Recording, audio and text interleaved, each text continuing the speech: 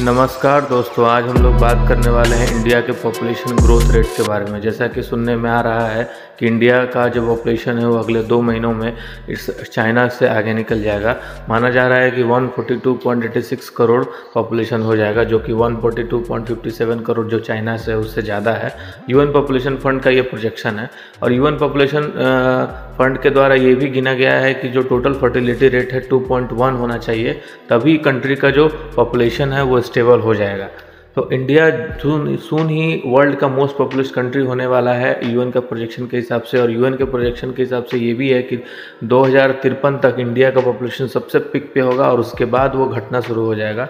Population ये projection ये भी कहता है कि इक्कीस सौ, दो हज़ार इक्कीस सौ में इंडियन पॉपुलेशन करीबन करीबन 1.1 बिलियन के आसपास हो जाएगा, जो कि अभी से काफ़ी कम है।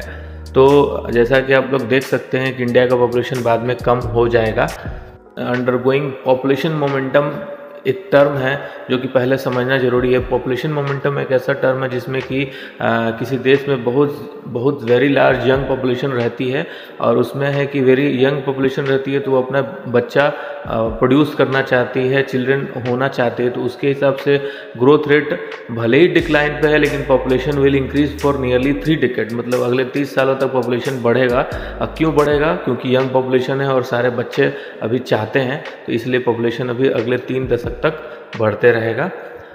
तो हम लोग क्या कर सकते हैं पॉपुलेशन ग्रोथ रेट को स्लो डाउन करने के लिए? पहला चीज़ कि हम लोग मैरिज का जो एज है वो डिले कर दीजिए। उसके बाद फ़र्स्ट प्रेगनेंसी का जो टाइम है वो डिले कर दीजिए। और दो बच्चों के बीच में जो दूरियाँ होती हैं, वो टाइम उसको बढ़ा दीजिए। और फीमेल प्लस मेल स्टेरलाइजेशन दोनों होना चाहिए। सिर्फ़ फीमेल पे मत स्टेरलाइजेशन का प्रोसीजर अपनाइए। तीस, पाँचवा चीज़ होगा कि गर्ल्स एडुकेशन एंड एम्पावरमेंट को आप इम्प्रूव कर सकते हैं।